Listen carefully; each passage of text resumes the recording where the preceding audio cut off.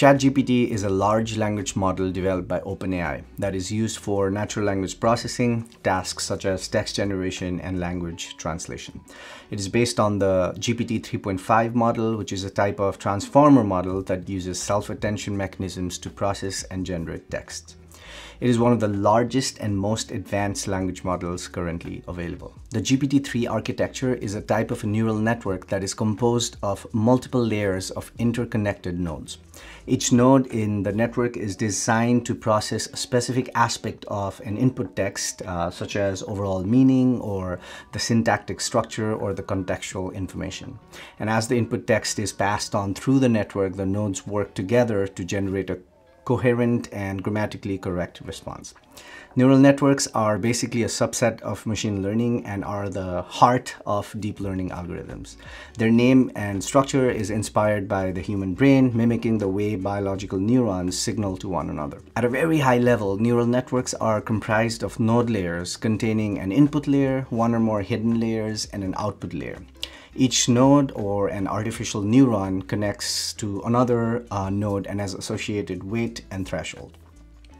If the output of the individual node is above the specified threshold value, then the node is activated, sending data over to the next layer of the network. Otherwise, no data is passed along to the next layer of the network. Well, that's all I'll talk about neural networks in this video, but if you want to learn more about neural networks or AI in general, visit Brilliant, who have also kindly sponsored this video.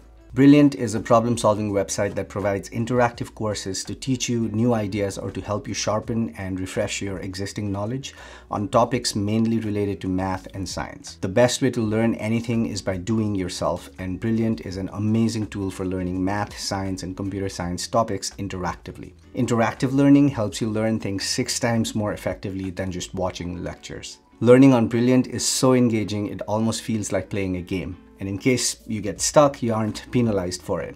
Instead, they give you in-depth explanations that help you make meaningful progress. Even though I have a ton of experience in software engineering, I routinely use Brilliant to refresh my knowledge on specific math topics like probability and statistics, various search algorithms, as well as machine learning areas like neural networks. I find that I not only enjoy the interactive lessons that Brilliant has, I also retain a lot more information more effectively. So if you're into improving your problem solving skills and learning new STEM concepts, visit the link in the description below to get started for free with Brilliant's interactive lessons. The first 200 of my subscribers to click the link below will receive 20% off their annual membership. Okay, so back to ChatGPT. So the main reason ChatGPT is the talk of the town right now is because of one of the key features of its architectures that allows it or gives it the ability to learn from large amounts of data. The ChatGPT model has been trained on massive amounts of text data, 175 billion parameters and 570 gigabytes of text data to be exact, which includes a wide range of topics and styles. For comparison, ChatGPT 2 was over 100 times smaller at only 1.5 billion parameters. So as a result, the model is able to generate responses that are highly relevant to the prompts and that exhibit a level of knowledge and understanding that is similar to that of a human. And another advantage uh, of ChatGPT 3 is uh, the ability to handle long-range dependencies in the input text. This is important because many natural language tasks such as uh, language translation or text summarization require the model to understand the overall meaning and context of the text in order to generate the correct response. Uh, the self-attention mechanisms in GPT-3 architecture allow the model to capture these long-range dependencies and to generate accurate and fluent responses. All right, that's basically it for ChatGPT. So that's what it is at a high level. So let's address the elephant in the room. Will something like this or AI in general replace software engineers? Well, talking about ChatGPT in particular, uh, large language models aren't really designed to write code. Uh, they're best at uh, generating predictive text, uh, sentiment analysis, trimming or editing uh, textual data. Um, so any reasonable code that it's producing is merely treating it as text. If anything, something like GitHub Copilot is probably far better at uh, generating actual code because rather than text or sentiment analysis, it's been trained on uh, a large data set of actual code bases so it can actually pull its uh, predictions from code itself rather than large voluminous text that something like GPT-3 has been trained on, like from Reddit or something like that, right? But in general, the question whether AI will actually replace um, software engineers, the answer to that, at least in my perspective, is there is no chance. Unless you're all you're doing is copy pasting code from the internet, then you probably have bigger problems. But as of now, um, no, software engineers aren't getting replaced by artificial intelligence. See, the thing is that artificial intelligence in a very simplistic way and at a very high level is very deterministic. There's always some heuristic to follow that it learns from various data or models. Uh, as much as naturalness there is in the outcome or how fluent it may seem, there's still a heuristic being followed, right? Um, so in terms of whether software engineers will actually be replaced by something like this, um, I want to share a conversation I had with my friend um, who actually runs a dog training institution in Chicago. So I was having a conversation with him and he asked me the same question, will something like ChatGPT, is it a threat to software engineers, right? So to explain this concept to him, I followed back with a question to him and I said, hey, say someone randomly calls you and they say, I have a German Shepherd and he's acting weird around dogs, but generally inside the house, he's really well disciplined. But with other dogs, he acts really weird. Sometimes he gets into fights. Um, so then I told him if he can give me a set of instructions that I can follow to fix this. And his response was that there is no chance he can do that because while that symptom may be something that you've heard of other dogs having before too. So much of it depends on the specific dog, how it was raised, uh, what are its environments, what are the other dogs doing, how do the dog owners handle him, um, and, and so many other environmental and behavioral aspects that it's impossible for a dog trainer to simply produce a set of instructions on how to fix that behavior, even though he's worked with hundreds and hundreds of dogs, right? Um, so same idea I am kind of applies to software engineering is if someone asks you, hey, I want to build something like Facebook, uh, what should I do? Well, it depends, right? Like, what's your goal? How many users are you going to have? What is your technology stack? How many software engineers do you have? What's your budget?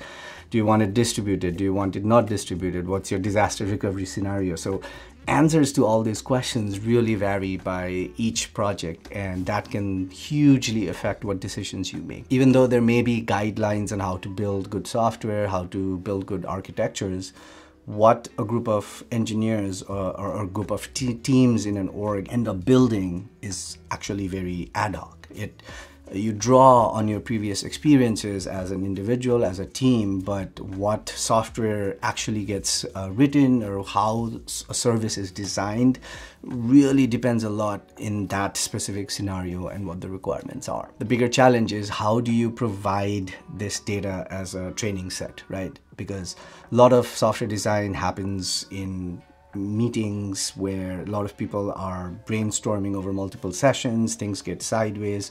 Then some people may do a lot of this in their head while they're thinking. Like, how do you translate thought process to something that is easily fed to a learning model, right? So, unless something like that happens and we are probably at like GPT-10 or something like that. I don't see software engineers actually getting replaced by artificial intelligence. But what, what I do think it will happen is machine learning and AI in general will greatly influence software engineering. And most of this is probably going to be like an aid think of it as your sidekick, right? I already actively use GitHub Copilot and it's pretty effective at uh, giving me little snippets that otherwise would have wasted my time, right? I mean, of course, this is a very basic example, but you can see how as modern software engineers, you're dealing with a lot of different frameworks and programming languages. And say you've been working with TypeScript for three years and suddenly you have to pick up a project that's in Go or Rust or Python or whatever, you may be rusty. So even simple things like helping you format the syntax or dealing with uh,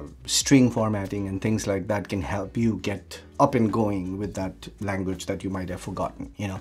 So that something like that can save a lot of time. A far-fetched example could be if you can get some machine learning model to train on your code base. Maybe there could be a situation where there's a bug and the dev triages the bug to be say something like, hey, this is a time zone error where we've used the wrong time zone. We need to make it like a universal time. And they submit those parameters to an AI bug bot or whatever and then they go ahead and because they have enough context of the code base they can figure out all the wrong time zones and then update that with universal time or something like that and then send in a pull request. That would save a lot of time for a particular dev having to do that and usually um, computers tend to be better at finding every dependency and everything like that so then they'll probably be more thorough about it way quicker but then once the PR is there, someone would still need to go, a real person would validate that, right? So I can see something like that happening, but even that is a far-fetched idea. How it may influence roles, um, that could be if, especially if like the simple bug fixing and things like that do come into fruition, then maybe entry level positions like uh, internships and uh, software engineer level one, where you aren't really expected to do much other than learn and improve and get to the next level. Maybe those roles would kind of morph into something like a software engineer 2 role, right? So, where as a human software engineer, your expectations start from level 2 because all the level 1 or intern level work is done by AI well is it replacing jobs? Probably but i wouldn't think of it that way. I would think of it as jobs morphing into something else right? Remember the early 2000s or even late 90s when most software developers were probably like graphic designers or web designers. People were mostly writing static html css pages. They were making a good career. They were making uh, a good living out of it. And then things have changed now, and if you're doing static HTML, CSS stuff right now, you probably don't have a job, you know, um, because the role has morphed into front-end engineering. Even that is really complicated right now. You need to understand apis you need to understand mobile loads battery concerns a lot of different frameworks and you actually have to understand algorithms and code even to be a front-end engineer. You know there's no such thing as static. And was this a result of artificial intelligence? No. I mean just the technology progressed. And so yeah there there will be uh, changes. Uh, it will affect how we do things. It will act as an aid, maybe even morph um, software engineering in some ways, but it's not going to replace uh, engineering. So there's there shouldn't be any fear in that area. But that, that's just my thought. Give me your thoughts in the comment below. Um, and maybe I'll be wrong in three years when none of us have a job, but I'm pretty confident we won't get there. All right, I'll see you in the next one. This is getting too long. Cheers. Bye.